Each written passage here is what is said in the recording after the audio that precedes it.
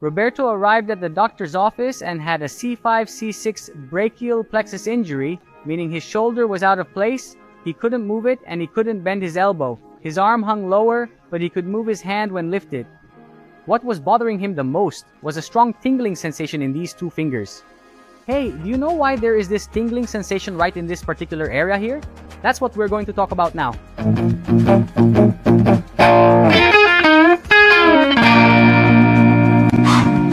Guys, brachial plexus injury varies greatly. It has several types, and now we are going to talk about just one type, which is the C5-C6 injury.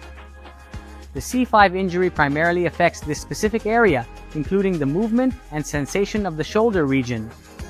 In C6 injury, the patient loses strength in elbow flexion and also has a change in sensitivity at this level.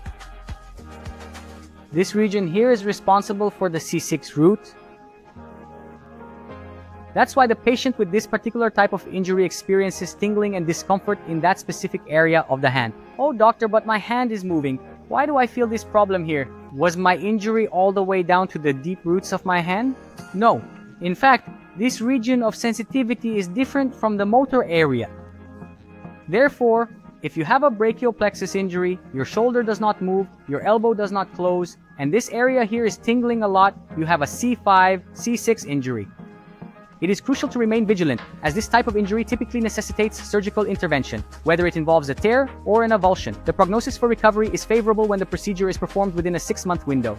If you want to know more information about brachial plexus injuries, like this video and follow my channel here.